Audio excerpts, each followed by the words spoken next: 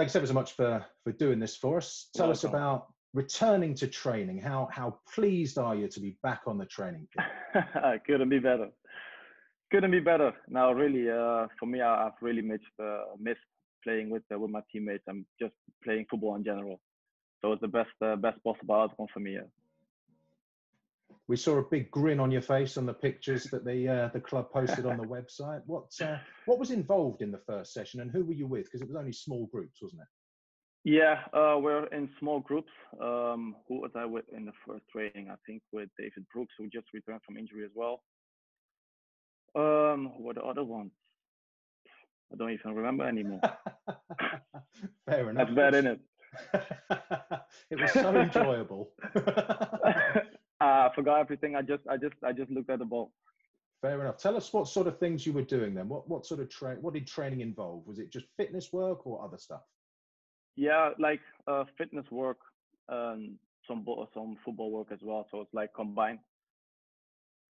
And uh, yeah, just you know, you you always do some fitness work because uh, yeah, everyone has been in lockdown, so you need to get your fitness up back again, which is logical. Um, but it's like always combined with the ball, so with with a finishing drill or something else, and uh, passing drill. So uh, yeah, all good.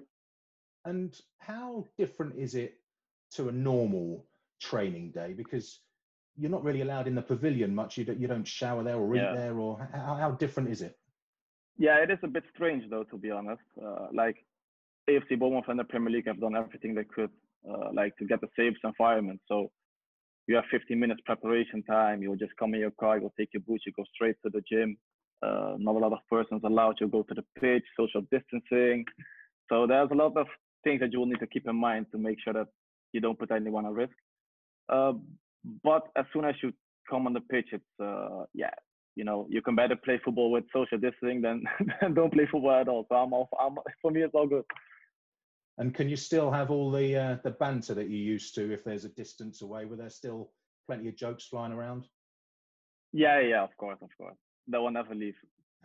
who who surprised you in your first group back? Who, who's got the? Did anyone come back with particularly wild hair or or having talking about a strange hobby they'd taken up?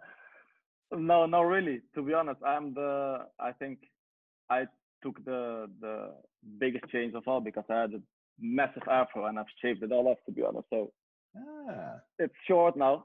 So uh, that's that's yeah, that's a, a huge difference. But besides that, I think more players like shave their hair off instead of that, that they let their hair grow. So uh, they're looking more that, uh, like like you know instead of uh, instead of some instead of like a caveman or something else. I've noticed this. I've set a trend. But it looks clearly. good though. Yeah, and this is this is entirely by choice. I have you know. Even during the lockdown, you didn't think, uh, "Oh, let some hair grow." no, no, no, no, no, no, no, no. Uh, uh, it would be very embarrassing. No, What no, leave it like that. uh, I like it. It's good. Thanks, mate. What about what about your fitness? How's uh, how's your foot injury? Are you fully recovered? Yeah, yeah, yeah. So that's the positive thing uh, of this virus. Yeah, uh, like we had some injuries as well, just in general at the whole squad. So everyone is fit and hungry as well. So uh, that includes me. I'm uh, 100% fit, and I'm hoping to stay fit. I'm doing everything I can to stay fit. So uh, fingers crossed. Yeah, we'll keep your our fingers crossed for you as well. How how frustrating was it the two spells out you had during the season? Yeah, I just told someone else as well. It's like it's difficult to put that into words, uh, especially with my personality and my character. Like uh, football is everything for me. Like just practicing it every day. That's what really makes me happy. So just being unable to do that is like it's really, really frustrating for me. And um, what's frustrating as well is like every club I went to, every transfer I made. Like the first season I came there, I always, uh, yeah, you always like to leave a mark as a player from the first moment you are there. So I was planning on doing that as well here, and uh, yeah, it's frustrating if if things don't turn out that way. But that's how life works, and that's how football works. I mean, you can, uh, yeah, not always can everything go. Not everything, can, not everything can always go as you want. So uh, you just need to get adjust to it and make the best out of it. How easy was it to to cope with though, particularly that first one, right at the start of the season after after a good pre-season? Yeah, really frustrating. Really frustrating. I came uh, to AFC Bournemouth. We uh, played against Olympique Lyon. Uh, we won 3-0. I played a good game. Uh, the gaffer was buzzing, so I was really looking forward to playing. And then, uh, yeah, to get out with an injury, it's the worst thing possible. And in a new country, are you living on your own as well? I mean, how how difficult is it then and, and now in lockdown as well when you're when you're stuck on your own without your family and friends around? Yeah, um, to be honest, for me, I don't really mind being alone. Uh, yeah, it's all right. I'll, I'll enjoy myself. Um, but my mother is in the UK as well, my little sister. So um, they were during lockdown. They were here with me, so that helped a lot. I mean, uh, she cooks for me. she, she washed my clothes and stuff like that, so that helped. so that helped. And um, yeah, besides that, even if I'm on my own, I always manage. Uh, I like to do things on my own as well. I read books. I watch uh, a lot of movies on Netflix, and no, I'll get by. Oh, fair enough. And everyone's itching for football to return. Are you are you itching even more than most though? Because, like you said, you want to leave a mark. You want to prove that you belong in this league. Yeah, definitely, definitely. It has really been bothering me, as I said before, that I couldn't uh, uh, really prove myself immediately from the start of the season. And um, yeah, I'm just very hungry and very eager to prove myself that uh, yeah that I have the quality to take what it what it takes to prove myself in the Premier League and obviously show my teammates and uh, the staff that uh, believed in me because they brought me here to yeah like how do I say it properly like paying them back that trust and that belief in me. So uh, I'm very eager and uh, and uh, hungry to do that. Yeah. And you could leave quite a mark if you if you helped big time in these final nine games and kept Bournemouth in the Premier League. What would that mean to you? Nah, the world, everything. Now I'm uh, planning on doing that. now I'm doing everything, uh, everything, everything I can. Um, uh, I already did everything I could, but I'm even doing more than I can now. So uh, I'm really looking forward to the to the remaining games here, and uh, the training has been good so far.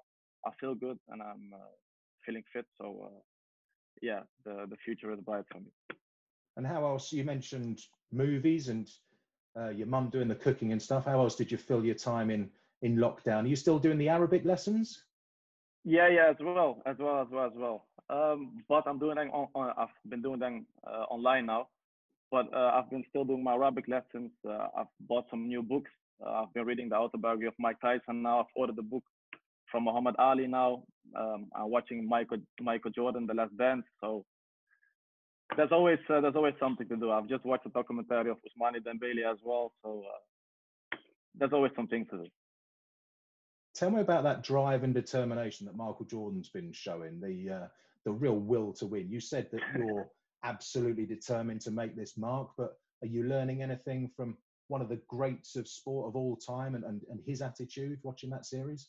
Yeah, definitely. You can. Uh, everyone can learn from from the biggest athletes in the world, and uh, yeah, his drive is just something else. It basically makes you feel bad. Like that. even when I watched the the the series, it just made me feel bad. Like it just made me realize that even I thought that I was doing everything I could, but there's always more you can do so uh, now it's always good to uh, yeah to like give your your mind and your uh, your thoughts some freshness and uh, make sure that you aim for the best uh, the best things possible. Oh, good stuff. And I should have long before now wished you is it Ramadan Mubarak? Is that what you uh, is that what I should have said? How's how's Ramadan been for you in your first one in Bournemouth and with all the training great. you've had to do and the fasting? Great, great to be honest. Really. Uh, always after the, I finish the Ramadan, I can really feel that my body has improved uh, physically wise. So I've been training now as well uh, without eating and drinking, and um, it's nearly done. I've been doing it for a month now, and I can really feel that my body is getting stronger and my concentration level is getting a lot better. So uh, every year, every year if the Ramadan comes, it's, it's for me it's like a blessing as well because it like really resets my body and uh, gets my fitness like back up as well. Oh, it's been terrific talking to you, Arno. I'm very Likewise. impressed with your devotion, your drive, and I look forward to seeing you in these final nine games. Thanks ever so much. Thank you. Thank you. Thank you. Likewise. Thank you for your time.